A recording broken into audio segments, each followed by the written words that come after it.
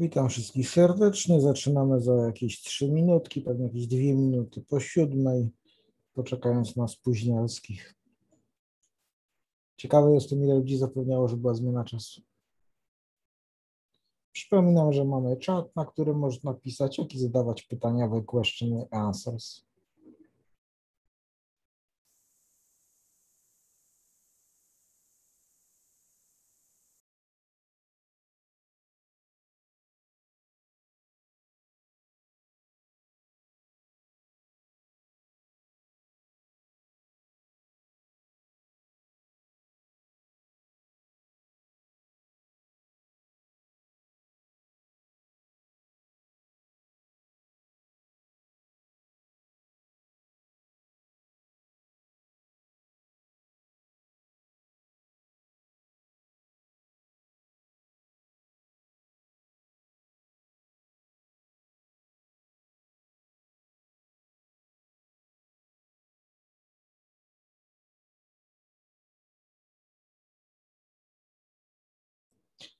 Marek Sikora. E, nagrania już są dostępne na stronie YouTube'owej od Tikmila.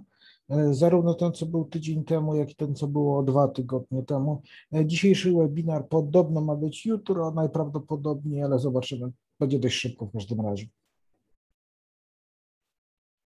Mam nadzieję, że mnie słychać głośno i wyraźnie. Zaczynamy za dwie minutki. Damy po prostu chwilę na spóźnialskich.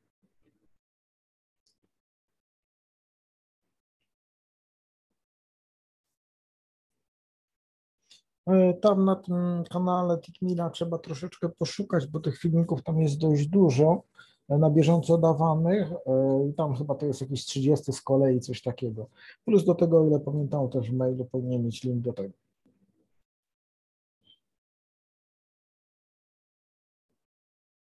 No i jeszcze są na stronie Forex Clubu w zakładce wideo. Teraz mi Paweł po prostu tutaj widzę, że napisał na czacie więc zawsze można tutaj mieć dwie miejsca, e, gdzie znaleźć. Podejrzewam, że chyba w Forex Clubie będzie szybciej, bo to, bo po prostu akurat na TikToku jest tych filmów dość sporo w różnych językach.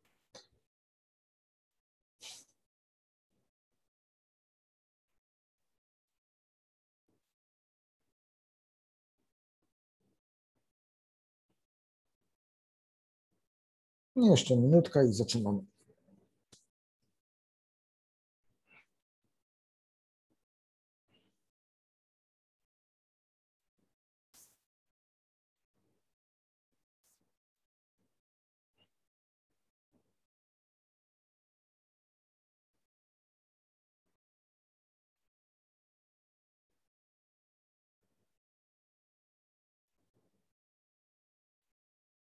Okej, okay, mamy siódmą dwie, czyli kto się miał spóźnić, ten się spóźnił.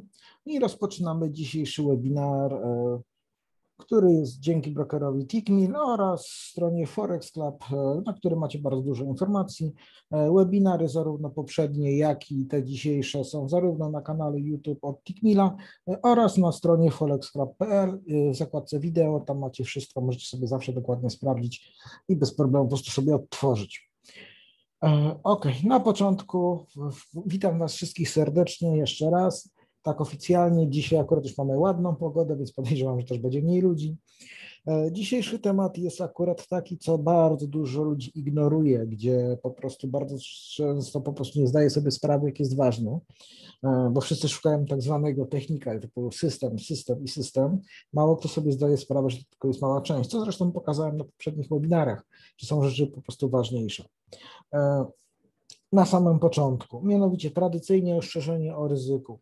CFD są założeniami, założeniami instrumentami i wiążą się z wysokim ryzykiem szybkiej utraty pieniędzy z powodu dźwigni finansowej. 65% rachunków inwestorów detalicznych traci pieniądze podczas handlu kontraktami CFD z Tignium Europe Ltd.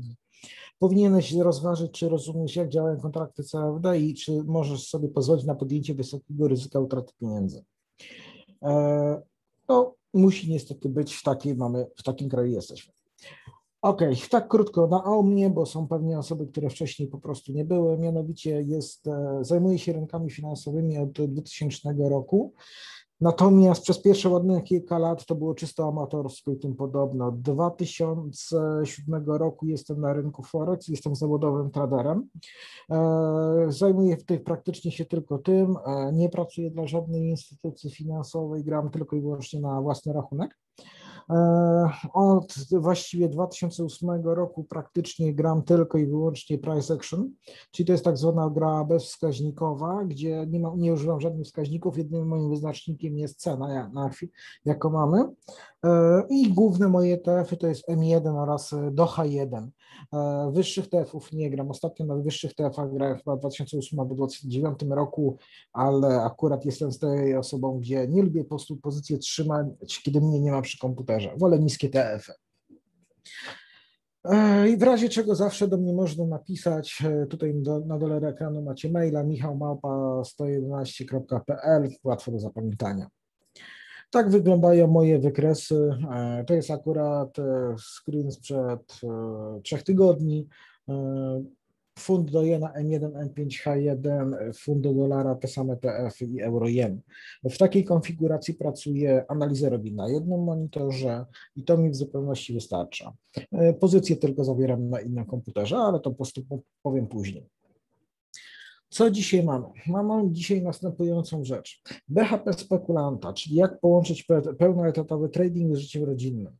I dzisiaj będzie zarówno, jeżeli chodzi o tak zwane BHP, co to jest BHP, to wszyscy wiemy, w każdym razie powinniśmy być, bo każdy przechodzi takie szkolenie, jeżeli po prostu idzie do jakiejś pracy czy coś w tym stylu, w każdym razie powinien mieć, tak żeby nie zrobić sobie krzywdy, a tutaj też sobie można z tym zrobić. I dzisiaj będę omawiał te wszystkie kwestie, żeby sobie, żeby po prostu nasze życie było prostsze. Dzisiejsza tematyka dość dużym zakresie też się wiąże z tematyką, która będzie w przyszłym tygodniu, czyli jak przejść ogólnie na być profesjonalnym traderem, ten krok po kroku, jak to wszystko zrobić. E, dlatego niektóre elementy będą po prostu w tym momencie e, wspólne, no ale cóż, taki jest taki rynek, że po prostu dużo się powtarza. OK, w takim układzie na początek e, co mamy? Mianowicie podczas webinaru macie tutaj zakładkę, gdzie możecie zadawać pytania, question i answers. Bardzo bym prosił, żebyście tam zadawali po prostu pytania. Ja, czy to zależy, że będzie bieżącego tematu, no to od razu odpowiem. Jeżeli to są akurat nie, nie bieżącego tematu, to odpowiem to pod koniec webinarium. W zeszłym tygodniu bardzo fajnie nam to wyszło, było bardzo dużo pytań, więc e, mam nadzieję, że w tym tygodniu e, będzie tak samo. Jeżeli akurat bym nie zdążył na coś odpowiedzieć lub może bym coś przekapił, chociaż mam nadzieję, że nie, no to po prostu na maila. No a najczęściej jest tak, że dopiero nam coś, coś przypomina po prostu po wszystkim, dopiero wtedy spytać. OK, tutaj zawsze jest mój mail, na którego po prostu po, tutaj napiszcie, jak coś zapomnimy, czy na przykład, nie wiem, e, nie spodziewaliście na przykład takiej odpowiedzi, jaką udzielę. E, OK, dobra. BHP, czyli o co tutaj chodzi? Mianowicie to, co mówiłem na początku, kiedy e, siedzimy nad wykresami, nieważne czy to jest Forex, czy to będzie giełda papierów wartościowych, czy cokolwiek innego, to wszyscy praktycznie, zwłaszcza na początku, jedyne co ich obchodzi, to jest tak zwany system. No ale co to, co to ten system właściwie jest? E, mianowicie nie chodzi tylko o zbiór, czy to wskaźnikowy, czy to samych kresek, tak zwanego price action na przykład, czy zwykła analiza techniczna, czy, czy cokolwiek innego. To w tym momencie to jest coś, co zawsze wszystkich interesuje. Natomiast to jest tylko element, który odpowiada za około 18% tego, co my robimy. To jest coś, co pokazałem w zeszłym tygodniu, to jest na temat, ile my błędów robimy i tym podobne. I to tutaj nie będę wnikał, po prostu w zeszłym tygodniu można sobie to odsłuchać. E, natomiast znacznie ważniejszymi są rzeczy, które są związane tak naokoło. Rzeczy, które, których my często wydaje nam się, że my, nas nie dotyczą, a prawda jest taka, że właśnie o to tutaj chodzi, że to są elementy, które e, najbardziej e, wpływają na nasz trading. I właśnie trzymanie, czy to trzymanie się zasad, czy czy po prostu ogólnie samo technicznie dobrze narysowanie czegoś na wykresie, to jest właśnie nie, nie tylko wynik samego doświadczenia, ale to jest właśnie tych właśnie całego BHP związanego z komfortem naszej pracy, żebyśmy sami sobie nie robili krzywdy. Nie jest to zbyt, wbrew pozorom zbytnio skomplikowane. Problem jest taki, że my o tym po prostu zapominamy. I dzisiaj poruszę takie najważniejsze kwestie, jeżeli chodzi o to, i tutaj zarówno jeżeli chodzi właśnie o BHP oraz też jak to wszystko, cały też trading wpływa na nasze życie rodzinne, które też ma ogromny wpływ na to, co my robimy. I tutaj po prostu idziemy. Pierwszy punkt, że to jest jeden z najbardziej podstawowych rzeczy, to jest mianowicie ustalcie sobie godziny gry, w jakich chcecie po prostu grać. Nie róbcie czegoś takiego, że a dzisiaj rano sobie pogram godzinkę, potem po południu sobie pogram godzinkę, a jutro pogram sobie na przykład tylko w same południe. Nie. Mianowicie ustalcie sobie godziny waszej gry. Niech to będą dwie godziny, trzy godziny, czy godzinę, czy jak to wiadomo, możecie sobie pozwolić cza, e, czasowo. Natomiast też, żeby tego nie było za dużo. I ustalcie sobie stałe godziny. Typu na przykład pracujemy powiedzmy między 8 a 16, w domu jestem o 17, wiadomo, zanim zjem obiad i tak dalej, no to mam czas tylko na przykład 18. No to w tym momencie znacznie więcej Wam da coś takiego, że będziecie grać na przykład od godziny 18 powiedzmy do 20, aniżeli na przykład e, w piątek macie powiedzmy nie do 16, tylko pracujecie do 12 i potem od 13 siedzicie ile weźmie na cały piątkowy wieczór. Dlaczego? Ponieważ kiedy skupicie się na konkretnych godzinach gry, to w tym momencie, e, zaznaczam celowo, używam słowa gry, a nie inwestycje, po prostu jest mi wygodniej, po prostu bardziej lubię ten termin. Bo już tutaj w mailu dostałem pytanie, czemu używam takiego słownictwa. I w tym momencie, kiedy ustalimy sobie konkretne godziny gry, to po pierwsze, e, macie już tutaj ustalony mniej więcej wasz grafik, przyzwyczajacie się po prostu do pewnych założeń, czyli mentalnie dostosowujecie się do tego, co będzie na rynku. Po drugie, co najważniejsze, uczycie się zachowania rynku w danych godzinach jak pod względem technicznym, czy to noc, czy to dzień, czy to rano, czy popołudnie, czy wieczorem, rynek pod względem technicznym zawsze chodzi tak samo. Problem jest taki, że są in, jest inna zmienność, inna dynamika rynku o różnych godzinach. W momencie, jak będziecie mieć zawsze te same godziny gry, będzie Wam po prostu łatwiej, bo jeżeli będziecie grać w godzinach nietypowych, bo tak macie po prostu czas, nie możecie grać w głównych godzinach, to wiecie automatycznie, że e, nie, nie, dan, danej sytuacji nie, nie będziecie oczekiwać na przykład złapania 20 pipsów w ciągu powiedzmy 30 minut, bo na przykład Wam rynek na to nie pozwoli z racji godziny.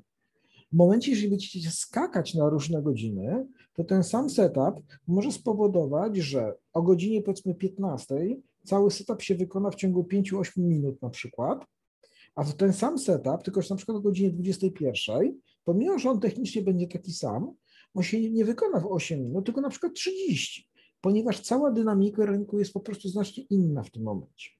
Takie przyzwyczajenie ogromnie zmniejsza tutaj presję na sam wynik. I takie drobne tutaj ostrzeżenie.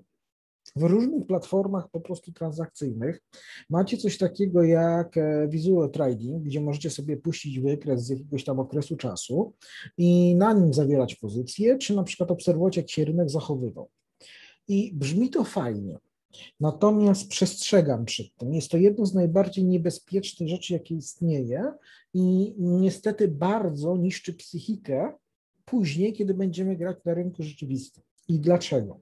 Z tego względu, że e, taki visual trader, e, po pierwsze, wyznaczamy tam konkretne godziny, z którego mam na wykres po prostu funkcjonować, a my najprawdopodobniejśmy widzieli ten wykres, więc w tym momencie nasz mózg to widział, więc już wie się mniej więcej czego spodziewać, ale to jest drugorzędne. Natomiast co jest najgorsze, to najczęściej te wykresy są w trybie przyspieszonym typu na przykład 2, 5 czy 10 razy szybciej niż normalnie to dzieje się. I się wydaje, że to fajnie, bo więcej mamy okazji do podrenowania i tak dalej. W teorii tak. W praktyce jest zupełnie co innego, ponieważ w tym momencie, jak my na takim wizualu się uczymy, i nawet jeżeli ustawimy sobie te same godziny, które mamy, jak tu jest napisane, żeby sobie ustawić godzinę, to w tym momencie załóżmy, że setup na wizualu od momentu wejścia do zamknięcia trwał 5 minut. Tylko, że mieliśmy przyspieszenie na przykład 10 minut razy 10, czyli to wszystko jest 10 razy szybciej. No i w tym momencie mamy identyczny setup, potem, kiedy jesteśmy już na normalnym rynku. Wszystko jest identyczne, ale minęło już 10 minut, a nam już po prostu nerwy powoli zaczynają chodzić z tego względu, że wcześniej dokładnie ten setup przecież widzieliśmy, on trwał tylko 5 minut. A tutaj już 10, a kurs na przykład w ogóle nie drgnął, albo jesteśmy w okolicach zera, albo na minusie jeszcze. W efekcie niszczy to naszą psychikę. Dlatego znacznie lepszą alternatywą jest regularne siedzenie w tych samych godzinach i nad tym pracowanie, niż eksperymentowanie nad nie wiadomo czym. Dlatego wyznaczcie sobie konkretne godziny gry i się ich trzymajcie.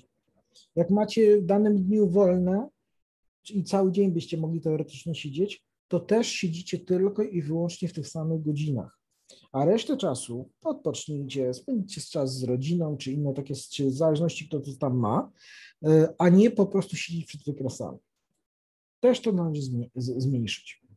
Kolejny punkt. Limit ilości pozycji. O co chodzi? E, mianowicie tutaj jest zależne po prostu kto jaką ma technikę gry, na jakich TF-ach gramy i tak dalej. Natomiast bardzo ważnym aspektem jest, żeby sobie wprowadzić taki limit wykonywanych pozycji. E, ile to jest pozycji, to to jest zależne od techniki, co my robimy i jak to działa. Mianowicie teoretyzuję. Załóżmy, że, ma, że gramy na niskich TF-ach i mamy limit pozycji powiedzmy 5 na dzień. No to w tym momencie to co to oznacza? Mianowicie, że możemy przez cały dzień zawrzeć do 5 pozycji. Zaznaczam, powiedziałem do 5 pozycji, a nie, że 5 pozycji. Czyli może jednego dnia zawrzeć 5 pozycji, innego dnia nie zawrzemy żadnej, bo nie było na przykład okazji. I co to powoduje? E, ponieważ jeżeli popatrzycie sobie na swoje statystyki e, pozycji, które robiliście, zobaczycie sobie godziny, jaki jest efekt tych pozycji, to zauważycie, że przeważnie jest tak, że pierwsze kilka pozycji, które wy zawieracie, to są pozycje prawidłowe pod względem technicznym. One są po prostu zawarte tak, jak powinny być, nie było eksperymentów e, i w tym momencie jest wszystko ok. I potem jest tylko szlifowanie, żeby to było jak najlepsze, żeby statystycznie mieć jak najlepszy wynik. Im więcej natomiast po prostu mamy tych pozycji, zwłaszcza na niskich TF-ach, tym zaczyna się popełniać coraz więcej błędów typu, bo chcę się odegrać na przykład, albo na przykład, skoro ja i tak klepię, no to poklepię tych pozycji ile wlezie, I przestajemy, im więcej jest tych pozycji, tym przestajemy się coraz bardziej trzymać zasad. Pół biedy, jak na przykład źle przestawimy SL-a i będzie zamiast na przykład 10 pipsów będzie 15, bo tak nasza strategia wychodziła. Gorzej natomiast jest to, że zaczynamy bardzo szybko tutaj zawierać pozycje, które no w ogóle nie miały nic wspólnego z samą techniką. Tylko, że kiedy my siedzimy, to nawet nie jesteśmy tego świadomi. To dopiero widzimy następnego dnia, kiedy my kontrolujemy to, co myśmy zrobili poprzedniego, poprzedniego dnia. W każdym razie powinniśmy taką kontrolę zrobić. E, dlatego ustalcie sobie po prostu e, konkretne godziny gry. Po drugie, z racji tego, że macie, e, znaczy samo limit pozycji. Po drugie, jak macie ten limit pozycji, to, że macie ten kaganiec, że tak powiem, powoduje to to, że wy się też bardziej skupiacie i nie wchodzicie w pierwszy lepszy sygnał, tylko dlatego, że wam się coś wydaje. Bo skoro ja mam ten limit pozycji, no to ja nie wejdę na pierwszy lepszy sygnał, wolę poczekać na konkretny, bo inaczej zrobię nie wiadomo jakie po prostu pozycje, efekt i potem nagle dochodzi do tego, że jest fajny, bardzo mocny sygnał, że wiem, że jest bardzo duże prawdopodobieństwo, że pójdzie w moją stronę, no ale ja już nie mam tego limitu. Więc w tym momencie róbcie to, bardzo sobie ułatwicie po prostu życie pod względem komfortu pracy. E, kolejna rzecz, czas gry. Tutaj jest temat rzeka, ile się powinno siedzieć w tymi wykresami, jak to się robić i tak dalej. Jak punkt był taki, gdzie wcześniej mieliśmy godziny gry, tutaj konkretnie chodzi o czas gry, czyli jak długo my siedzimy przed tymi wykresami. E, I tutaj też sobie ustalcie, ile to, zarówno z tym punktem pierwszym, jak i tym trzecim, ile tutaj mamy po prostu siedzieć. Chodzi o to, żeby nie siedzieć za długo, ponieważ im dłużej my siedzimy, tym nasza koncentracja i łączenie faktów całych tych założeń drastycznie spada. Zwłaszcza ile pamiętam po trzech godzinach, gdzie jest wręcz taka parabola, E, w tym momencie e, i leci to po prostu w dół, jeżeli chodzi o koncentrację. Więc najlepiej wtedy po prostu odpuścić. E, tutaj akurat na czacie Przemek pisze, że gdzie jest, grajmy wtedy, kiedy jest największa zmienność, jak jest na przykład otwarcie Londynu 9 do 11 na przykład. Tak, jest to dobra opcja. To samo jak po południu, na przykład od 15 do 17 w tym momencie, gdzie mamy sesję amerykańską i londyńską po części, więc w tym momencie też mamy bardzo ładny zakres ruchów, i, ale się tego po prostu trzymać tych konkretnych wartości, nie skakać. To samo się tyczy czasu gry. Kiedy ja zaczynałem, ja wiem, jakie błędy popełniałem, gdzie ja potrafiłem siedzieć dziennie po 18 godzin przed wykresem e, i robić analizę tego, tych wykresów, eksperymentować, zawierać pozycje i tak dalej. Wydaje się po prostu że fajnie, że w tym momencie się, mam więcej doświadczenia i tak dalej. Natomiast po czasie i po, po radzie znajomego, który mnie opierniczył delegat, delikatnie mówiąc, e, nie będę tu wypowiadał słów, jakim, to zrobił, e, gdzie kazał mi zrobić po prostu limit, że maksymalnie się do 3 godziny. Nagle się okazało, że w tym momencie, jak ja siedziałem krócej i resztę dnia miałem wolnego od wykresu, nie tylko moje pozycje były bardziej trafne, ale ja się też bardziej komfortowo po prostu czułem. Bo dzięki temu właśnie takim limitom, jak tutaj mamy, czyli godziny gry, limit ilości pozycji, czas gry, unikamy w bardzo prosty sposób overtradingu, że my nie, za, że, że nie zagramy, nie będziemy grać zarówno dużo ilości pozycji, ale też, że nie będziemy tutaj za dużo siedzieć. E, bo to, pamiętajcie, nieważne, czy to jest akurat e, rynki kapitałowe, ale to samo jest na przykład w pracy, jak ktoś siedzi za przysłowiowym biurkiem, gdzie przebieramy papierki na przykład. No to praca tak zwana aktua, e, intelektualna, to w tym momencie jest bardzo wykończająco psychicznie gdzie w pracy mamy to, że po prostu posiedzimy, popracujemy, ale potem idziemy sobie na przykład na kawkę, odpoczniemy chwilę i pracujemy dalej. Natomiast e, potem wracamy po południu do domu i często jesteśmy tak wypruci, że nam się nic nie chce po prostu do wieczora. Natomiast osoba, która na przykład pracuje bardziej fizycznie, wraca do domu powiedzmy na 16, ma o 17 już godności i musi coś robić, bo po prostu organizm się szybciej zregenerował. Dlatego tutaj akurat w przypadku patrzenia tak wykresy, jak my siedzimy za długo, to właśnie w tym momencie my się męczymy niepotrzebnie. Ja właśnie zacząłem zarabiać w momencie nie wtedy, kiedy siedziałem po 18 godzin y, dziennie, tylko się zacząłem siedzieć do 3 godzin, bo to, co robiłem, po prostu było bardziej trafne. E, plus do tego miałem czas na całą masę innych rzeczy. W zależności po prostu, kto tam co lubi. E, kiedyś na przykład dużo jeździłem na motorze, inna osoba będzie spędzić czas z rodziną i tak dalej, i tak dalej. Wszystko w zależności od sytuacji. Ale to, co mówię, nieważne w tym momencie, co robimy, daj sobie limit czasu gry i tego przestrzegaj. Kolejny e, punkt, który już mówiłem w wcześniejszym webinarze, ale którym się zawsze zapomina. E, mianowicie ciało potrzebuje ruchu i tutaj zaznaczam, szachy to nie sport, e, jeżeli chodzi, więc tutaj można pograć i tak dalej, natomiast musicie się ruszać. I tutaj mianowicie, kiedy robimy sobie przerwę gry, kończymy na przykład sesję naszą, czy na przykład ja robię często tak, że zamknę pozycję, nieważne ile mi czasu zostało, nieważne ile ja danego dnia zrobiłem po prostu pozycji, to ja zamykam pozycję i biorę moje psy i idę z psami na spacer, chociażby na 15 minut. Ale żeby się przewietrzyć, odprężyć, ponieważ każda pozycja generuje stres. Najlepszą rzeczą, jaką możecie zrobić, to jest w tym momencie się poruszać. To jest jedna z najlepszych rzeczy, żeby się odstresować. Nie mówię tutaj o robieniu jakiegokolwiek e, sportu wyczynowego czy coś w tym stylu. Chodzi o to o zwykłe iść na spacer, poruszać się. Jak ktoś lubi pobiega, to niech sobie pobiega, czy tam pójdzie na siłowni i tak dalej. Różnie bywa. Swojego czasu e, chodziłem na masaż dwa razy w tygodniu, e, gdzie po prostu mnie to bardzo odprężało. To z jednej strony fajne, bo masaż, z drugiej strony był to element po prostu mojej pracy, która po prostu powodowała, że po prostu miałem mniej tego stresu. Bo pamiętajmy, że kiedy e, gramy już tutaj na realne pieniądze, kiedy to są kwoty, które po prostu są istotne dla naszego portfela, no to w tym momencie ten stres naprawdę mocno oddziałuje. E, I tutaj dostałem właśnie takie pytanie w mailu parę dni temu, e, czy, czy ja się stresuję, kiedy ja gram po tylu latach, po prawie 14 latach siedzenia nad tymi wykresami. Tak, ja oczywiście się stresuję, jeżeli chodzi o pozycje i tym podobne, tylko że już jestem na tyle opanowany, że e, ja kontroluję ten stres, a nie, że stres kontroluje mnie. Po drugie, po pozycjach, czy nawet jak ja już skończę tę moją sesję, to jak mówiłem, biorę psy i idę na spacer, żeby się przewietrzyć, żeby odreagować. Teraz już mi się mniej to zdarza, natomiast swojego czasu miałem tak, że bardzo często po sesji brałem e, psa na spacer, e, wtedy miałem jednego, teraz mam dwa i potrafiłem iść na spacer na 3-4 godziny nawet. E, to jest urok tego, jak się zajmuje się czysto zawodowo, tylko i wyłącznie po prostu rynkiem kapitałowym. Dlatego po prostu trzeba tutaj się ruszać. Po drugie, unikamy tutaj na, że tak powiem, choroby traderskiej. Dzięki temu chociaż u mnie niestety są czasami jest problem. Mianowicie choroba traderska to jest nic innego to jak rosnący brzuszek. Ponieważ co my robimy? Siedzimy na tym krześle, taborecie czy, czy fotelu, kto to tam ma i w tym momencie się nie ruszamy praktycznie, więc e, chodzenie takie na spacery pomóc metabolizm i w tym momencie jest lepiej. Eee, ok, kolejny punkt. Ustaw sobie cel krótko i długoterminowy. To jest bardzo ważny punkt, gdzie ludziom przeważnie się wydaje, że go mają, a w rzeczywistości nie. Natomiast e, bardzo ważny jest mieć cel krótkoterminowy, i to jest cel na przykład miesięczny.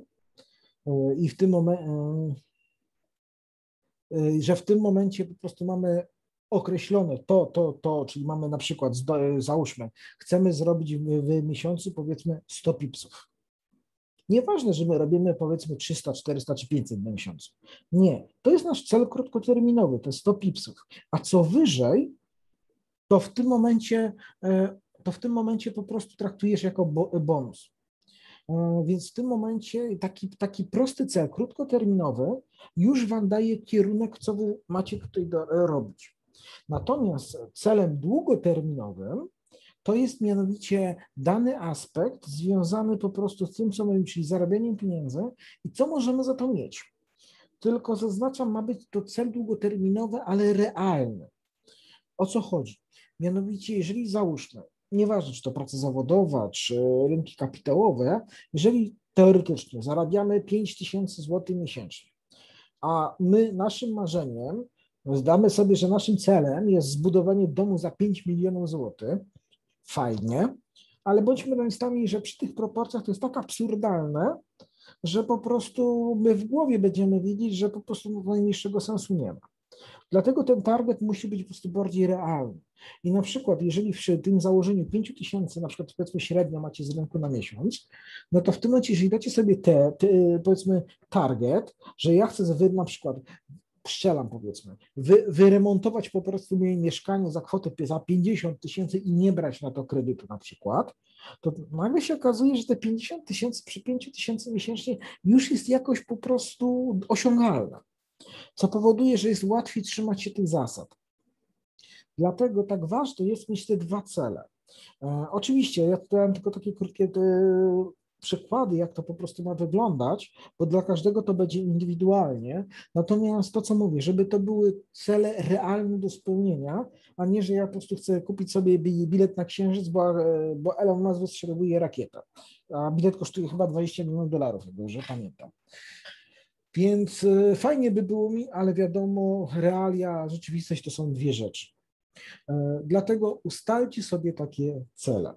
E, bardzo dobrą rzeczą tutaj jest, jeżeli to są cele związane z rzeczami typu, które, e, jeżeli mamy rodzinę, typu żonę, dzieci na przykład, to coś, co obejmuje całą rodzinę, ponieważ w tym momencie my inaczej do tego podchodzimy pod względem mentalnym, że łatwiej też to jest osiągnąć.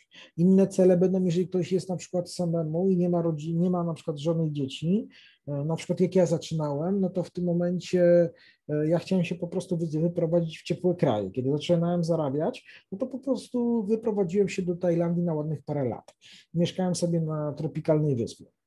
Więc e, każdy ma inne po prostu w tym momencie marzenia, każdy ma po prostu inne targety, ale to co mówię, mają być to realne do spełnienia, a nie jakiś abstrakcyjny. I to jest bardzo ważne. Kolejny punkt. Skup się na rynku. E, I tutaj chodzi zarówno, jeżeli chodzi o takie rzeczy, jak rozmawialiśmy wcześniej, czyli mianowicie e, w tym momencie zarówno jeżeli chodzi o przeszkadzanie typu strony internetowe, Facebooki, e, fora internetowe, analizy innych osób i tak dalej, i tak dalej. Powoduje to to, że mamy bardzo dużą dekoncentrację na tym, co my tutaj po prostu robimy. E, to samo się tyczy nasza rodzina, jeżeli mieszkamy, jeżeli na przykład tradujemy z domu, ona musi być świadoma tego, że wy potrzebujecie mieć święty spokój. I dla przykładu, e, załóżmy, że przyjdziecie, wasza sesja powiedzmy trwa dwie godziny, bo na tyle możecie sobie pozwolić. No i w trakcie sesji przychodzi powiedzmy żona, ej Michał, idź wynieść śmieci. No dobra, co to za problem, wynieść śmieci, zajmie to może dwie minuty. Natomiast e, jaki jest problem?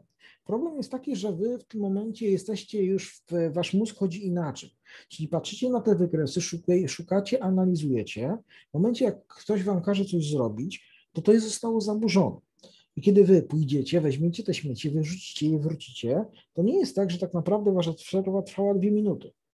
Wrócenie do tego trybu to jest zależne od osoby, może trwać 15 minut, może trwać pół godziny. I bo jesteśmy zdekoncentrowani, musimy szukać wszystkiego na nowo. Gorzej jak po drodze nam jeszcze na przykład ucieknie pozycja, bo byliśmy na niskich TF-ach. Więc w tym momencie e, nagle te 15 czy 30 minut przy sesji dwugodzinnej, bo na więcej czasu nie możemy sobie pozwolić, nagle się okazuje, że po prostu mamy jedną czy czwartą czasu w plecy. No i co wtedy? No i w tym momencie czas nas goni, bo straciliśmy jedną czwartą. W efekcie łatwiej jest popełnić błąd, bo już mamy presję niepotrzebną czasu. W momencie, jeżeli po drodze była sytuacja, że przegapiliśmy jakąś pozycję, lub co gorsza, na przykład na, wróciliśmy z tych, wyrzucenia tych śmieci, wracamy, widzimy, że jest sygnał i od razu wchodzimy, bardzo jest łatwo popełnić błąd, czegoś nie dostrzec. Lub na przykład nasza pozycja nie wejdzie tak jak trzeba, po prostu bo się źle skupiliśmy. Przy większych TF-ach to problemu większego by nie było. Natomiast przy niskich TF-ach, no to w tym momencie problem by po prostu już był. Dlatego e, starajcie się tutaj e, ustalić, jeżeli jesteście z rodziną, e, jaki, co, że wy tutaj macie element do pracy. Bo to jest tak, na początku to jest wiadomo, nauka, hobby i tak dalej, ale z biegiem czasu to się przeradza w sposób na życie. Właśnie chodzi o to, żeby nie było sytuacji takiej, co często niestety słyszę, że na przykład ja z kimś szkolenie prowadzę, a tu na co chwilę ktoś chodzi po prostu po mieszkaniu i tak dalej i na przykład y, nieraz było tak, że ktoś zaczął odkurzać, na przykład odkurzać, bo akurat to jest najważniejszy moment, żeby w tym momencie odkurzyć. E, czy na przykład ktoś pogłupi segregator przyjdzie i tak dalej, i tak dalej. E, pytania bardzo proszę, żebyście mi zadawali na question i answer. Tam to po prostu piszcie, ja to potem będę odpowiadać, bo na czacie to się może po prostu zgubić. E, więc najprostszym sposobem jest po prostu porozmawiać z rodziną i w tym momencie po prostu powiedzieć, że w, tym, w tych, tych godzinach nas nie ma i w tym momencie pracujesz. E, I w, i w tym momencie e, unikacie sporo takich problemów. Najlepsza opcja jest, jeżeli macie na przykład dom czy duże mieszkanie, gdzie macie własne biuro na przykład. Teraz mamy czas, gdzie akurat jest to bardziej zrozumiała taka praca i w tym momencie e, z racji tego, że mamy tą pandemię, bardzo dużo, czasy się powoli zmieniają, bardzo dużo ludzi pracuje zdalnie i jest to też troszeczkę inaczej przestrzegane. Natomiast e, kiedy ja zaczynałem, czyli to 2007-2008 rok, to mało kto słyszał o takiej pracy zdalnej e, i w tym momencie po prostu wyobraźcie sobie, jak to z boku wygląda siedzi gościu przed komputerem e, i coś tam robi i w, i w tym momencie co? Gościu nic nie robi. Bo co? Ma kilka wykresów, a większość czasu, które my spędzamy, tak naprawdę to jest tylko gapienie się na wykres i czekanie na sytuację.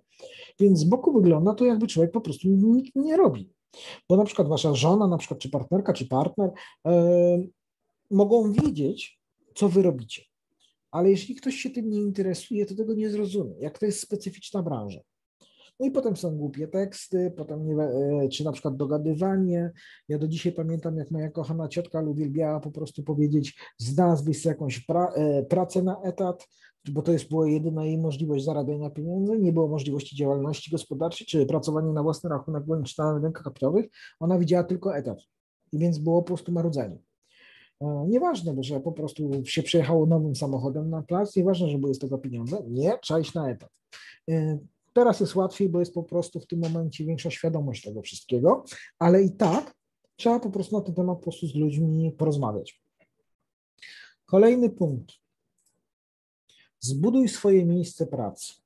Temat, który też wydaje się ludziom, że wiedzą, że mają przygotowane, wszystko w rzeczywistości nie. Drobna uwaga, na wstępie od razu powiem. Kiedy widzicie fotki w internecie, że ktoś siedzi na plaży i tam na plaży traduje, to jest bit na wodę fotomontaż. Z prostej. Ja to testowałem, jak się przyprowadziłem do Tajlandii, poszłem sobie, wziąłem sobie laptopa, tam była taka kawiarynka na plaży, że nawet nie byłem na piasku, że miałem tam kocji na piasku, tylko po prostu byłem na, przy stoliku takich e, wiklinowych po prostu przy, na plaży. E, I po czterech dniach musiałem rozkręcać laptopa, żeby, wyci- żeby wytrzepać z niego wszystki, cały możliwy e, piasek i to było pół biedy. E, cała bieda była to, że po prostu czasami taka drobna wilgoć była po prostu, gdzie drobinki wody się dostawały. I one nie były naprawdę w minimalnych ilościach, ale to była słona woda. Powodowało to, że był praktycznie cały laptop od wewnątrz do czyszczenia po zaledwie czterech dniach, gdzie normalnie tego się nawet nie widzi. Więc e, e, plus do tego dochodzą takie czynniki, jak na przykład e, ktoś może ukraść laptopa, czy na przykład dekoncentracja może być z różnych powodów. Dlatego takie na plaży i tym podobne, to fajnie wygląda, ale w praktyce się nie sprawdza.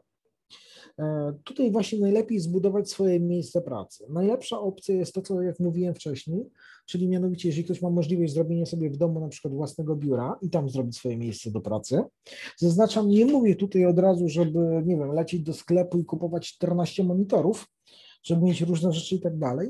Natomiast zawsze rekomenduję dwa monitory.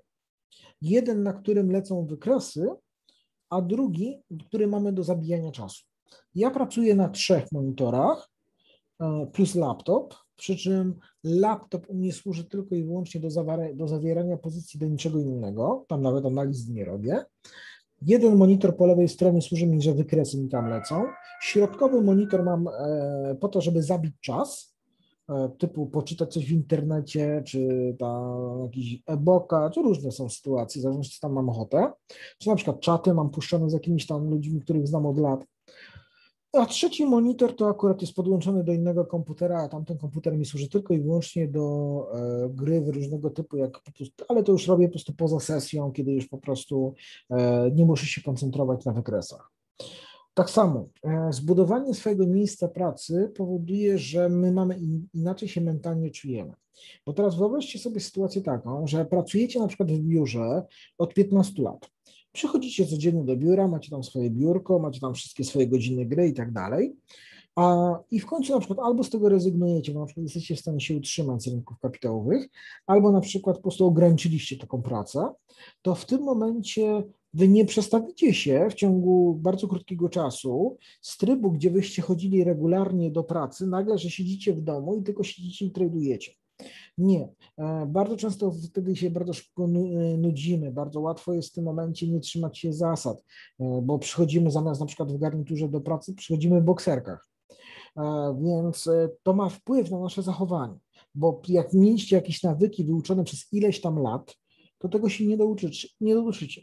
Ja akurat mam takiego znajomego w Katowicach, który wynajm, wynajął sobie biuro, na jedno z najlepszych biur ogólnie w, na Śląsku, codziennie rano bierze teczkę, gdzie ma laptopa, ubiera się w garnitur, jedzie do biura, przyjeżdża do biura, przyjeżdża tam na, chyba na trzy godziny i traduje, jest tam sam i wraca do domu. Nie z powodu tego, że po prostu ktoś mu po prostu przeszkadza w domu, bo rodzina rozumie, co robi. Natomiast on potrzebuje wyjść z tego domu, iść do takiego biura, chociaż jest tam sam, bo wtedy czuje, że po prostu pracuje. Czyli jest w tym momencie łatwiej się skoncentrować mu na tym, co po prostu robi. Oczywiście jest to opcja taka nie na początek, to jest opcja, do już jak my zaczynamy zarabiać, kiedy już mamy już odpowiedni kapitał, bo na tym etapie to nie ma najmniejszego sensu, kiedy się uczymy na przykład, ale pokazuje Wam, jak ludzie reagują. Tutaj każdy ma troszeczkę inaczej. Są osoby takie, które na przykład, jeżeli od lat pracują w domu, na przykład, nie wiem, są programistą i pracują zdalnie od lat, no to akurat u nie takiej osoby po prostu problemu nie będzie żadnego, bo taka osoba jest do tego przyzwyczajona, że pracuje z domu. Ale zupełnie inaczej jest, kiedy po prostu e, się musimy tak dramatycznie przestawić. Zresztą teraz dużo ludzi siedzi w domu i tak dalej. Ile razy słyszę, że ktoś posiedział w domu już dwa miesiące i po prostu e, już wariuje, a to dopiero wyobraźcie sobie taką sytuację, że macie tak robić przez lat, kilka, a większość czasu my spędzamy w tym momencie na gapieniu się wykresu i czekania, aż będzie okazja na zawarcie pozycji. Więc w tym momencie kto co po prostu lubi. E, oczywiście może być tak, jak tutaj teraz Bogusz napisał, że on nie lubi chodzić do biura, woli, woli w tym momencie w domu, bo na przykład same e, dojeżdżanie do roboty to jest masa straty czasu. E, ja też osobiście na przykład, jak jeszcze to było z 15 lat temu, pracowałem w firmie pewnej, no to jak samą robotę lubiłem, to nie, nie cierpiałem dojazdów. E, natomiast to jest właściwie to jest kwestia indywidualna, w zależności jak to po prostu e, będzie. Dlatego tak samo, e, dobry fotel, czy zaznaczam, nie polecam wbrew pozorom typowych foteli gamingowych, tylko tu się lepiej sprawdzają porządne fotele biurowe, bo tu chodzi o, o kręgosłup nasz, komfort pracy i tak dalej. E, natomiast nie polecam Wam wypasionych foteli z masażem i całą resztą. Ja popełniłem ten błąd i sobie kiedyś kupiłem właśnie taki duży fotel, gdzie były masaże i tak dalej, bo stwierdziłem, że mi będzie wygodniej przed monitorami. Niestety problem był taki, że ten fotel był za, za wygodny i bardzo często mi się zdarzało, że podczas sesji ja po prostu w zwykłej świecie zasnąłem na tym fotelu, bo był tak wygodny. Dlatego tutaj też nie można zdobyć w drugą stronę. Po prostu zrobić swoje po prostu miejsce pracy. E, jeżeli chodzi o to. O, tutaj jest też bardzo fajne pytanie Piotra na temat e, poprzedniego celu. Czy to nie jest groźne z tym celem? Chodzi mi o to, że za, za, są miesiące, a czasem kwartału, że jakaś strategia przynosi mniejsze profity lub na przykład zmienność siadła, albo jest jakaś ciężki do, do, do gry etap większego cyklu.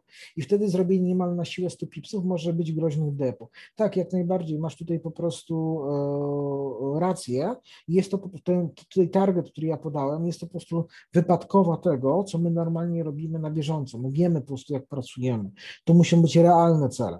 Na przykład e, w grudniu nie dasz sobie celu takiego jak zwykle, z tego względu, że w praktyce jest poniżej trzech tygodniach pracy bo mamy te święta, zanim się święta zaczną, no to w domu jest dom wariatu, bo trzeba posprzątać, albo rodzina wpadnie i tak dalej.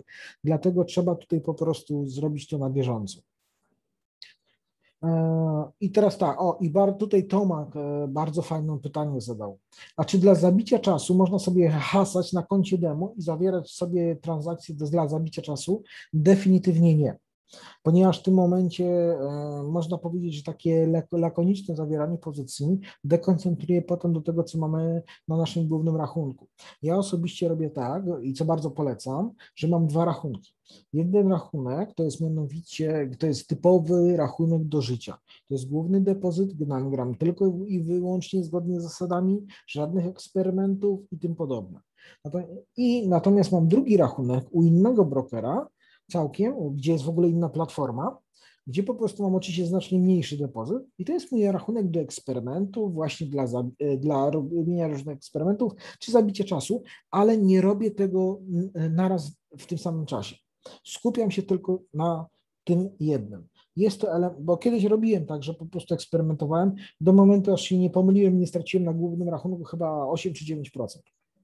E, czysto z powodu po prostu mojego mojego, mojej głupoty wtedy to, to było, ale to już było dawno i na szczęście to sobie wyprostowałem. Natomiast bardzo proszę, pytania zadawajcie na question and answer. Kolejne. I tutaj dochodzimy. W weekendy dajcie głowie odpocząć. Mianowicie to jest też, co ja kiedyś błąd taki popełniałem. Bardzo dużo ludzi takie błędy popełnia, że mamy weekend, a my siedzimy nad wykresami. Jak ja na przykład kiedyś drukowałem sobie wykresy po prostu i weekend je analizowałem, czy analizowałem pozycje w weekend, to co robiłem przez cały tydzień i tak dalej, ale nie tędy droga. Weekend jest od tego, żeby po prostu odpocząć od tego wszystkiego. Nie dotykajcie po prostu nic związanego z wykresami. Nie analizujcie swoich pozycji, totalnie nic. To jest czas na to, żeby czy to na przykład spędzić czas z rodziną, czy na przykład pojechać sobie gdzieś na przykład chociażby na cały dzień. E, totalnie nie robimy nic w weekend, jeżeli chodzi o rynki kapitałowe.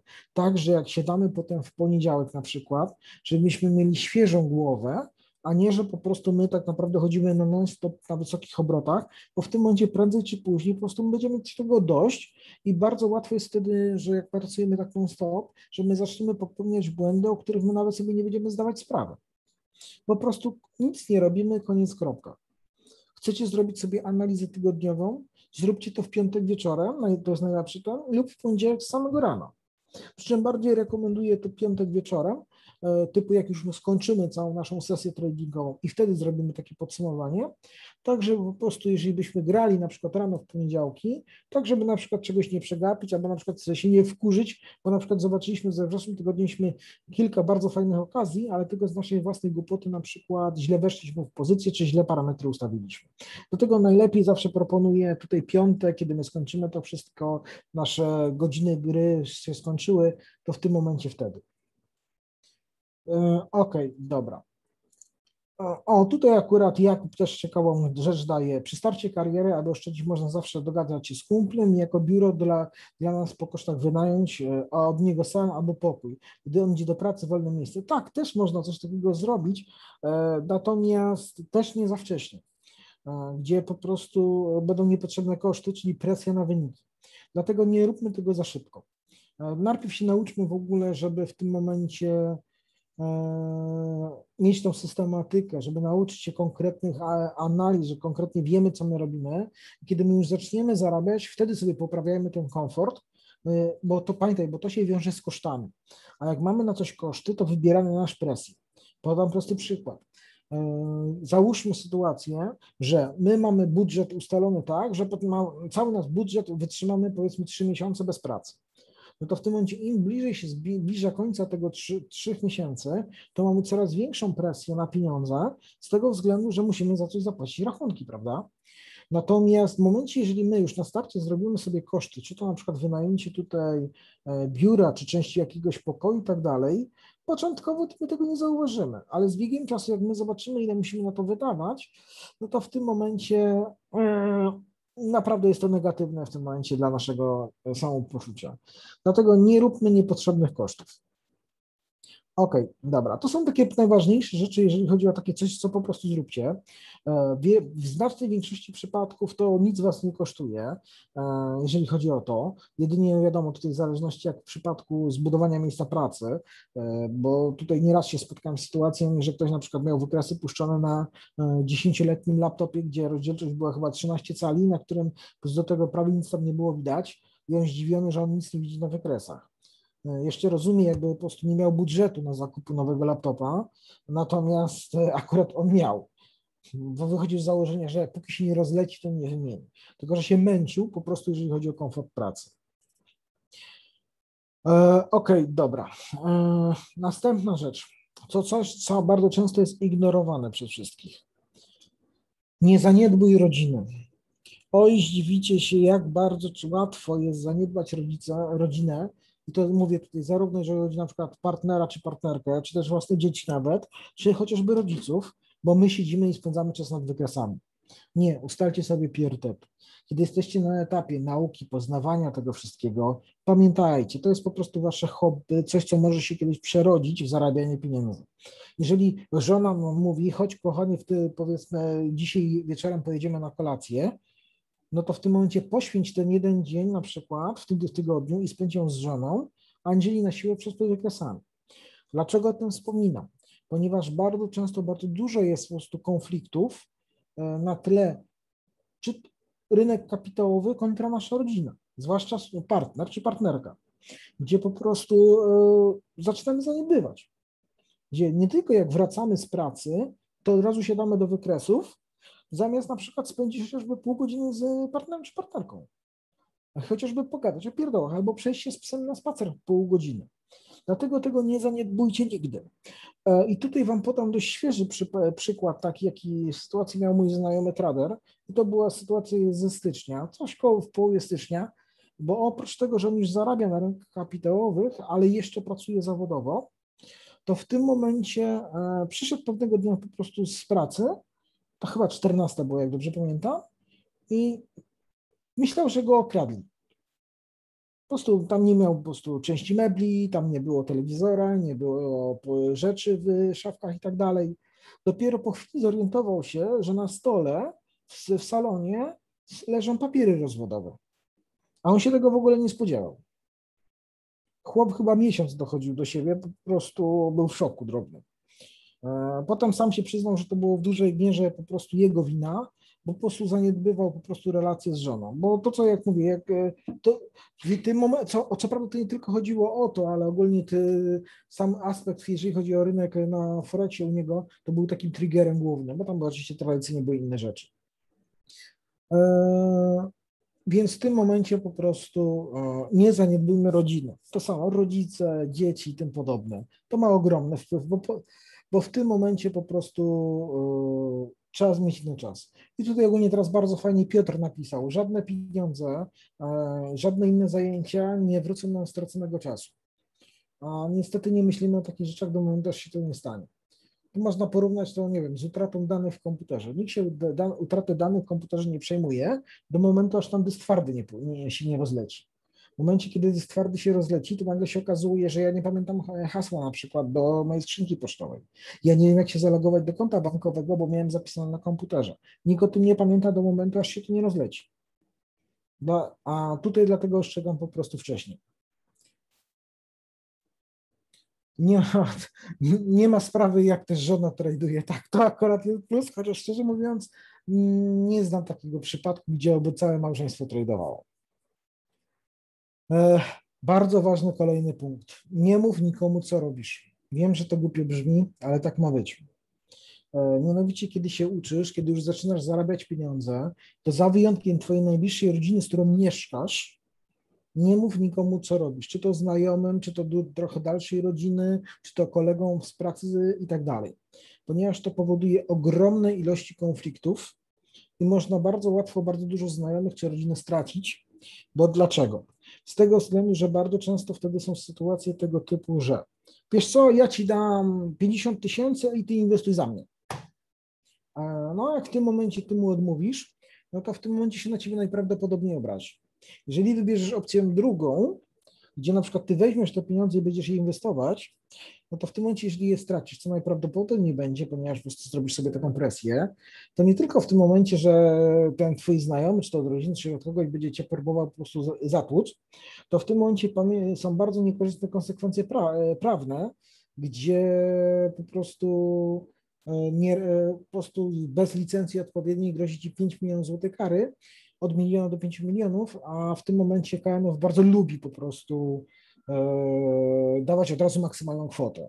Znam właśnie jak na jedno małżeństwo, co najpierw dostał mąż 5 e, milionów, e, potem żona dostała chyba pół roku później, dostała też 5 milionów, bo żon, żon, mąż na nią tradował i brali kasę od innych. Wszystko oczywiście stracili. To po prostu była głośna sytuacja chyba jakieś 6-7 lat temu na ten temat. E, dlatego tutaj nigdy po prostu nie mówcie, co robić. Ja przez długi okres czasu mówiłem taką, e, taką formułkę. No ja aktualnie nic nie robię, po prostu odeszłem z mojej poprzedniej roboty, teraz daję sobie 3-4 miesiące wolnego, e, żeby odpocząć i dopiero potem zaczynam szukać jakiejś nowej pracy. Przechodziło bez problemu, nie było żadnych pytań. Dla, dopiero po prostu ludzie się zorientowali, że było jednak coś nie tak w momencie, kiedy po prostu się wyprowadziłem do Tajlandii. Nagle się okazało, że jednak gdzieś się zarabia. No, e, dlatego po prostu tutaj nie mówcie, bo naprawdę są takie nieprzyjemne sytuacje. E, tak samo na przykład, e, a ty zarabiasz, no to naucz mnie. Tylko nie każdy się zna nauce, nie każdy potrafi przekazać wiedzę. I co? Traci, będziesz tracił czas na taką osobę, więc w tym momencie po prostu lepiej odpuścić. Dlatego nie, nie mówcie nikomu, co robicie. Tutaj, jeżeli już zaczynacie zarabiać, to dobrą opcją jest na przykład właśnie, że ktoś zarabia na przykład na rynkach kapitałowych, ale zawodowo też coś robi. Z czym to się robi w tym momencie tak, że pracuje się w tym, co się lubi, nie patrzy się po prostu na pieniądze. I tak znam większość, prawie wszystkich traderów, których znam zawodowo, którzy się utrzymują z rynków kapitałowych, że coś innego robią, tylko robią to, co lubią. I tu są przeróżne sytuacje. Polecam na przykład wolontariat w soniczku dla zwierząt zwłaszcza w tygodniu, bo w weekendzie zawsze po prostu znajdą sobie do pomocy kogoś, w, w tygodniu mają z tym problem. Kolejna rzecz. Jeżeli trading pro, i e, jest to problem z partnerem czy partnerką, czyli po prostu, bo bądź to, co mówię wcześniej, partner lub partnerka po prostu nie rozumieją do końca, co ty robisz, e, przeszkadzają ci, czy na przykład dogadują, czy na przykład zabrałbyś się do pracy i tak dalej, i tak dalej, jest bardzo prosty sposób, na rozwiązanie tego problemu, że po prostu nie było dogadywania i tak dalej. Mianowicie jestem ciekaw, czy ktoś mi na czacie napisze, e, jaki jest najlepszy i najbardziej skuteczny sposób rozwiązania tego problemu. A wierzcie mi, na, każdy, na różnych, na danym etapie tradingu prędzej czy później będziecie mieć ten problem. W momencie, jak już zaczniecie zarabiać. No tak, wyjazd na Hawaje jest dobry, natomiast e, nie jest to po prostu wbrew pozorom długofalowe rozwiązanie. Bo tu nie, więc tutaj akurat, no, tak, rozwieść się, też znam takie sytuacje, e, ale wiadomo, tutaj akurat chodzi o coś innego. Najlepszym sposobem na to, to jest mianowicie porozmawiać z drugą osobą. Bardzo często my nie rozmawiamy, my bardzo często się kłócimy o dane elementy, a tutaj wystarczy po prostu często porozmawiać, wytłumaczyć, co my robimy i uświadomić to, że my potrzebujemy mieć chwilę dla siebie, że w tym momencie ty musisz się skupić, bo to będzie przynosić po prostu pieniądze. Jeżeli, jeżeli będziesz na przykład przeszkadzać mi, no to zamiast kupić nowej torebki za 6 tysięcy, to ja będę w plecy 6 tysięcy.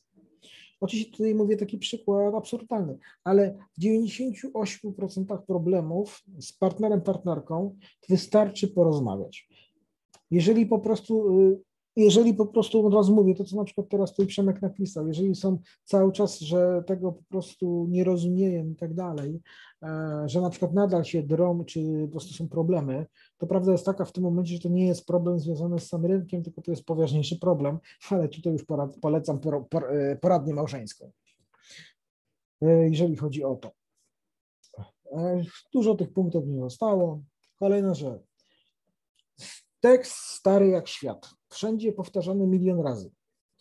E, nie inwestuj kwoty, na którą cię nie stać. Bardzo ważna rzecz.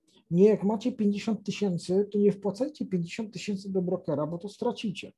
Nie z powodu tego, że po prostu będziecie robić po prostu coś źle. Chodzi o to, że wy sobie wybierzecie taką presję na samego siebie, że zaczniecie robić naprawdę głupie błędy. Lepiej, żeby wpłacić na przykład 1000 zł i w tym momencie po prostu tutaj ewoluować dalej, niż oszczędności.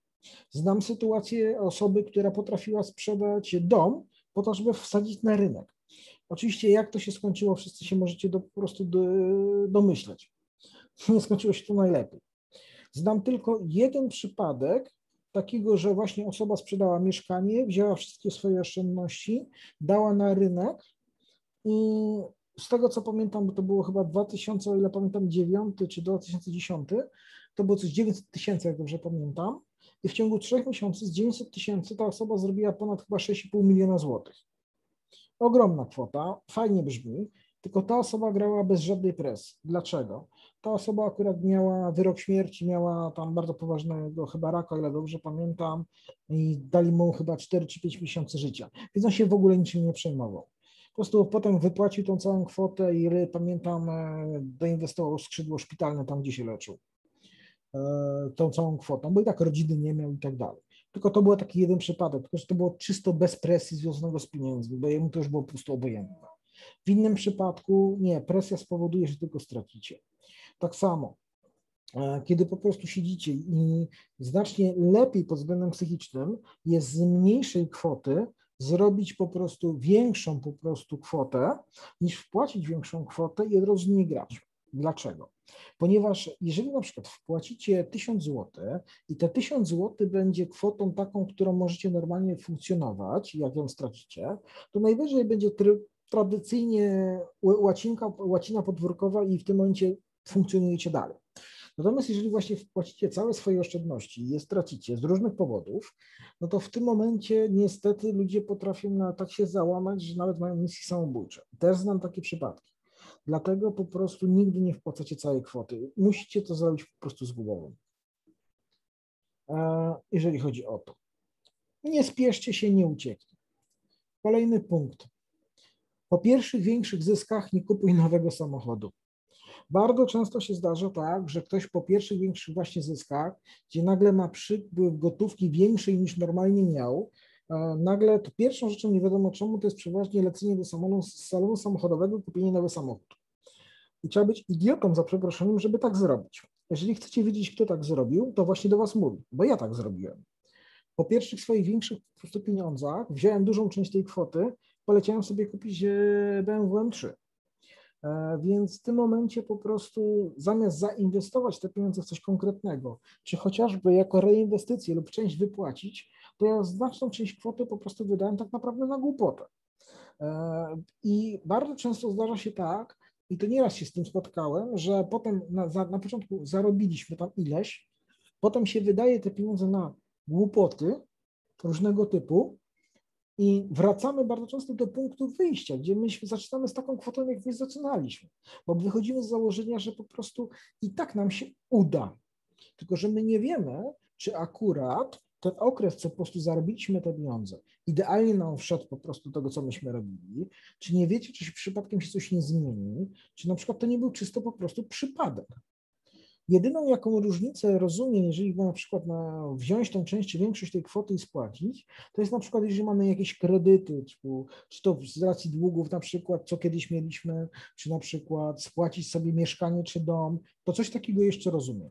Ale nie kupować tylko na przykład właśnie swojego samochodu, tylko dlatego, że po prostu go mieć. Nie, e, tutaj też trzeba po prostu zrobić to z głową. I w tym momencie też mamy mniejszą presję i dzięki temu też wiemy, czy będziemy mieć jakąś tam powtarzalność, czy też nie. Punkt w tym momencie przedostatni. Pomimo zysków nie zaniedbuj pracy zawodowej. Więc w tym momencie, kiedy mamy sytuację taką, że my już zaczynamy zarabiać, to w tym momencie i tak zawsze warto mieć dodatkowe źródło dochodu. Nie chodzi o to, że jeżeli zaczynamy na przykład zarabiać powiedzmy 50 tysięcy miesięcznie, a w pracy zawodowej zarabialiśmy powiedzmy 3 tysiące złotych czy 4 tysiące, no to można olać tą, tą po prostu e, pracę zawodową. Chodzi o coś innego. Jeżeli z rynku jesteśmy w stanie na przykład wyciągnąć miesięcznie 5 tysięcy złotych, a z pracy zawodowej też po prostu 5 tysięcy wyciągamy, to nie rzucajmy tej roboty. Dlaczego? Z tego względu, że mamy, mamy taką mentalność, co my, że w momencie, jeżeli mamy jakieś inne źródło dochodu, Czyli tu jest słowo, którego ja nienawidzę, bo zawsze mi się język po prostu plącze. To jest dywersyfikacja portfela. To w tym momencie mamy znacznie mniejszą presję na to, co po prostu my robimy na wykresie. Czyli w tym momencie, jeżeli byśmy nie mieli tej pracy zawodowej, to już mamy w głowie automatycznie, że ja muszę zawierać pozycję, ja muszę zarobić ileś tam, żeby zapłacić za coś rachunki. To też trzeba zrobić po prostu y, etapowo że nie od razu zmieniamy pracę czy ją rzucamy, tylko krok po kroku, z głową. A też nieraz się spotkałem z sytuacją, że ktoś e, zarobił 10 tysięcy złotych, powiedzmy z 5 tysięcy złotych, następnego dnia po prostu rzucił robotę. Gdzie tak naprawdę to jest kwota żadna w perspektywie dłuższego terminu. Kolejny punkt, i to jest ostatni, to jest mianowicie kolejny raz, nie zaniedbuj rodziny. I to jest celowo tutaj jeszcze raz. Rodzina, wiem, że to jest gadanie starego pryka dla niektórych, ale to jest akurat najważniejsze. To, co napisał tutaj wcześniej e, Piotr. Żadne pieniądze nie zwrócą wam straconego czasu. A dopiero niestety po fakcie widać, jak takie rzeczy po prostu nam brakuje. Dlatego nie zaniedbuj rodziny. Cała reszta to jest tylko dodatek. OK, e, to są jeżeli chodzi o te nasze główne aspekty, jeżeli chodzi o, o czy to BHP, czy to po prostu nasze rodziny. Tradycyjnie podstawowe zasady to są dokładnie te same zasady, co były wcześniej i ja je będę zawsze powtarzać. Te, które tutaj jest. Ja ich teraz nie będę omawiać, one były na webinarze pierwszym. Natomiast tutaj główne punkty już zrobiliśmy i tutaj teraz odpowiadam na Wasze pytania, które tutaj zadaliście na question i answers. Jak ktoś ma jeszcze jakieś pytania, to walić tutaj po prostu śmiało, jak to teraz poodpowiadam. E, nagrania webinariów będą, już są udostępnione poprzednie, które są. Dwa webinary już są udostępnione na stronie Tikmila na YouTubie oraz na stronie forexclub.pl w zakładce wideo są udostępnione. E, dzisiejszy webinar będzie udostępniony prawdopodobnie jutro. E, ile przeciętnie PIPsów zgadniasz z jednej transakcji? Jest to właściwie tutaj target górny, to jest przeważnie tak 20, 25 30 PIPsów. E, średnio tak 15 do 20. Wszystko, bo to nie jest tak, że ja zawsze daj, dążę do TP. Jak widzę, że coś po drodze się chrzani, to po prostu zamykam wcześniej. Tutaj na to pytanie po prostu nie odpowiem, bo jest pytanie o innego brokera. E, o, tutaj Paweł fajnie napisał. Większość z nas, nawet y, jeżeli ma ustalone zasady BHP, to i tak niewielu potrafi się ich przestrzegać. Czy masz jakiś sposób, żeby przestrzegać ustalonych zasad? E, jest to bardzo dobre pytanie i jest to, to wbrew pozorom bardzo prosty e, sposób, żeby to zrobić. To jest mianowicie, wy, kiedy już mamy ustalone wszystkie zasady, spiszcie je punkt po punkcie na kartce, można je wydrukować i w tym momencie wydrukuj, wydrukować je, zalaminować to i niech ta kartka będzie po lewej lub po prawej stronie monitora, także zawsze będzie się rzucała w oczy. Takim prostym sposobem, pomimo że wy, y, że wy będziecie znać te wszystkie punkty, ale że wy kątem oka będziecie to widzieć, powoduje, że bardzo łatwo jest w tym momencie i się trzymać tych wszystkich zasad. E, bardzo dobrą rzeczą jest, kiedy na przykład bardzo rzadko się zdarza, żeby to nie zadziałało. Natomiast jeżeli się zdarzy akurat, że będą z tym problemy, to jest zmusić się do gry przez dwa tygodnie zgodnie z zasadami, a potem normalnie i porównać swoje wyniki. Niemal zawsze będzie tak, że wtedy, kiedy trzymacie się po prostu zasad, to te wyniki będą e, na plus i to już daje nam motywację na e, bardzo fajną do trzymania się tych zasad. Bardzo tutaj pomaga właśnie ograniczenie czasu gry, ilości pozycji, bo w tym momencie w krótszym okresie czasu jesteśmy w stresie. Pytanie, po południu co lepsze, godzina 14-16 czy 15-17? Szczerze mówiąc jest to obojętne. Mniej więcej w tych godzinach mniej więcej chodzi tak samo, więc które to będą godziny, to jest jak tobie po prostu będzie wygodne, jak sobie możesz po prostu e, pozwolić. E, a tutaj jest od Piotra, a ja z demo to mam inne doświadczenie, ja, jak mnie ciągnie, żeby klikać, to jak poklikam na demo i odświeżę emocje, e, jakieś może z tego wynik, to, to, to się uspokajam na reale. Wbrew pozorom coś takiego jest spowodowane bardzo często takim wyklikaniem się, brakiem tak naprawdę dłuższych zasad tego, co masz zrobić i braku odreagowania stresów w dłuższym terminie bo w tym momencie ty się wyżywasz po prostu na, na tym koncie demo i wybu, wy, wszystkie twoje emocje wtedy wybuchają na tym, na, na tym demo, zamiast je w inny sposób po prostu e, zmniejszyć lub wyeliminować. To nie jest dobry pomysł pod względem długofalowym. W jaki sposób prowadzisz pozycję, jak, kiedy realizujesz zyski? Mam z tym problem. Wchodzę dobrze, byłem na Twoim szkoleniu, ale nie wiem, kiedy zamykać transakcje i kiedy realizować zyski. E, tutaj przede wszystkim jest, e, to jak byłaś u mnie na szkoleniu, to to w tym momencie e, jest tam napisane wyraźnie, gdzie mamy określony target, gdzie w tym momencie działać systemem zero-jedynkowym. Kiedy ma, nasz setup jest spełniony, pozycję trzymasz. Coś jest nie tak, zamykasz. Kontrolujesz, kontrolujesz pozycję przez SL i TP, przestawiając je zgodnie z założeniami systemu.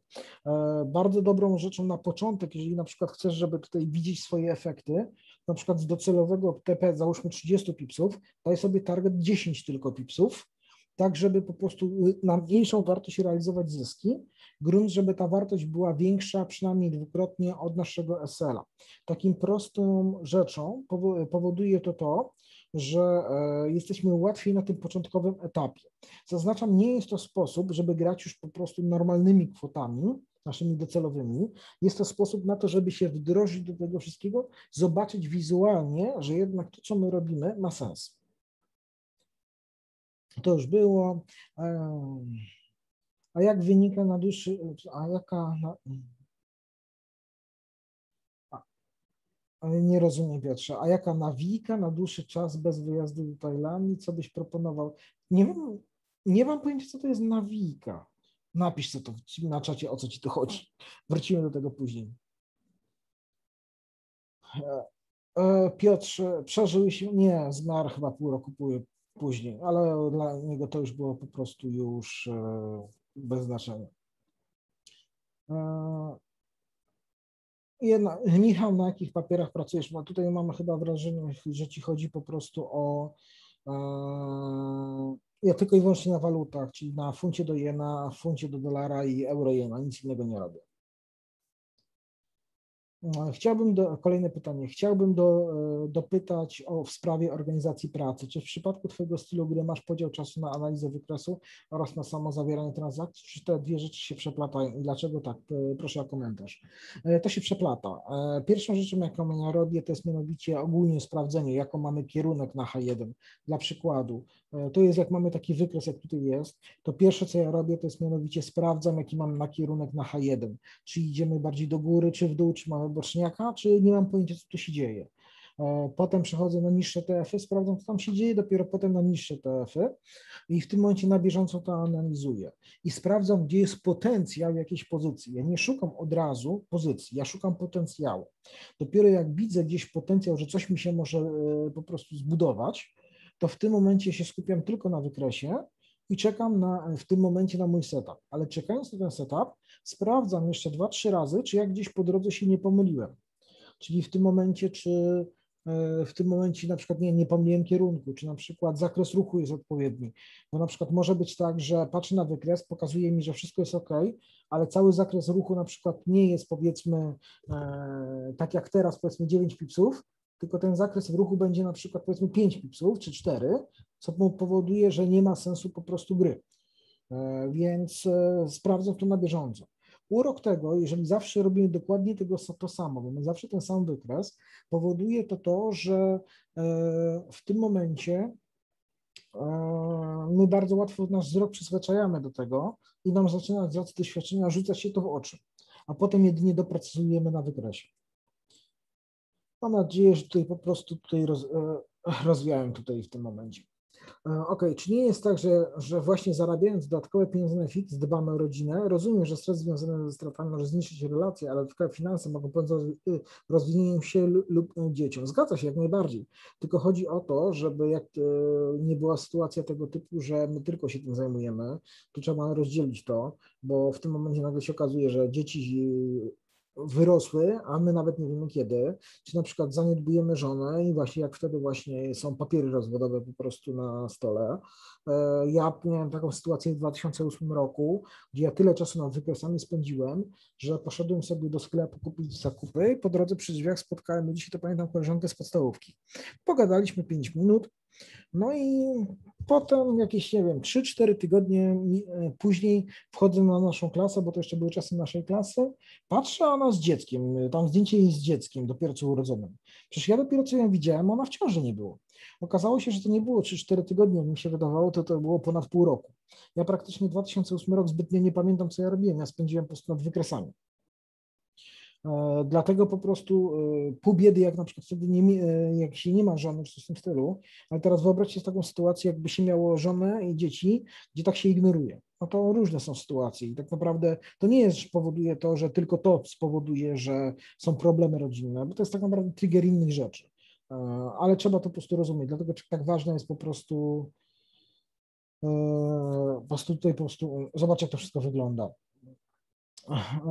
Jagoda, tutaj do tego pytania możesz mi napisać na maila.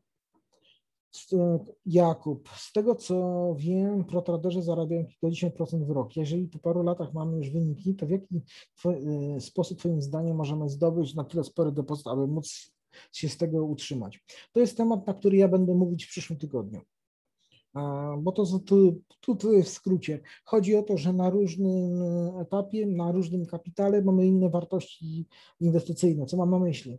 Jak mamy mały depozyt, możemy sobie po, pozwolić na znacznie większe ryzyko niż w przypadku, kiedy mamy większy.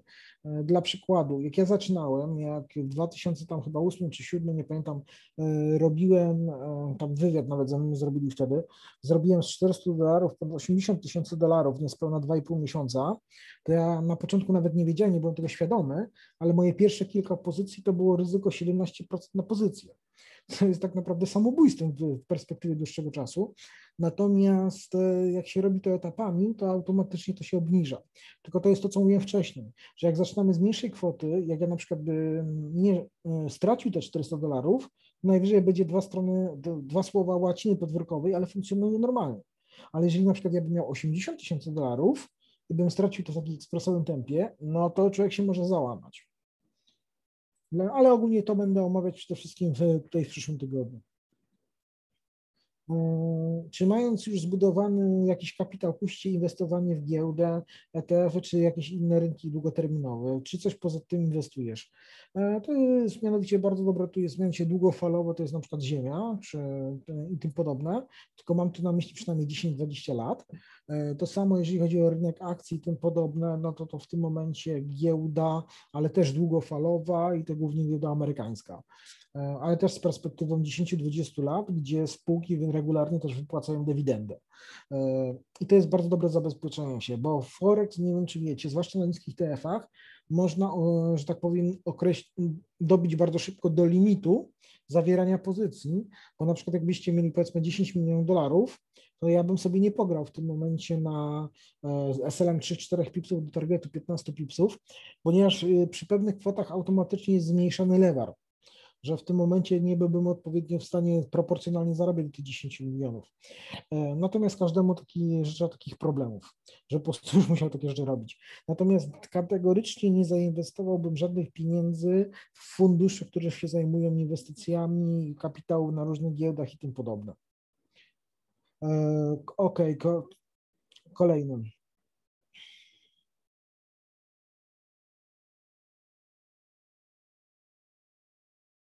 Okej, okay, Piotr wytłumaczył, o co mu chodzi. E, Niwika, czyli tekst, jaki należy zapodać celem ściemniania adresata, który nie powinien wiedzieć, co robię. E, tak, jest to dobra rzecz, ale to co mówię, przeprowadzić się można w wiele miejsc, gdzie są fajne miejsca, gdzie jest ciepło, e, też podatkowo, też dodatkowo, co w dłuższej perspektywie całkiem nieźle wychodzi, ale jest wiele aspektów. Okej. Okay. E, jak składasz zlecenie od razu z SL, czy jakie realizujesz nie mając żadnego panelu do tradingu? E, MT4 bardzo fajnie do tego, znaczy tak, MT4 ogólnie nie jest jakimś rewelacyjnym programem do e, samego zawierania pozycji. Jest to zależne jak co twój broker oferuje. Na przykład brokera, którego ja gram, to mam automatycznie, że w momencie, kiedy klikam transakcji, to automatycznie mi chodzą tak, takie wartości jak SLTP, są zdefiniowane po prostu automatycznie wcześniej. E, Plus do tego zarządzanie to jest tradycyjnie z wykresu, tak jak na przykład w, w MT4. E, natomiast to jest kwestia po prostu kwestii. Natomiast przede wszystkim chodzi Ci o ten panel, jak mamy na przykład tutaj. No to w tym momencie to jest tylko F11 i tutaj od razu mamy ten panel. E, I w tym momencie ja go używam tylko wtedy, jak coś muszę zrobić, e, tylko wtedy, kiedy po prostu mam pozycję, ale przez 98% czasu, kiedy tej pozycji nie mam, no to po prostu mam to schowane, tak jak teraz. E, jeżeli chodzi o to. Ok, kolejne pytanie. E, o, właśnie, to jest pytanie, co dodać. Po prostu to jest po prostu schowane. Klawiszologia, skróty klawiszowe po prostu platformy. E, Michał, czy możesz powtórzyć, jest nowe webinariów na YouTube, TikMila nie ma tych, są, sprawdzałem dzisiaj.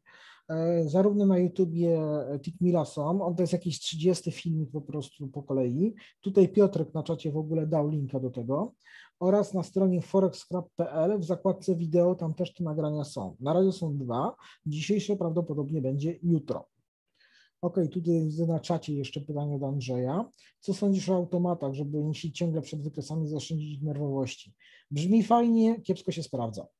Półautomaty tak, ale nie automaty. Nie znam praktycznie osoby, która by zarabiała na samych automatach.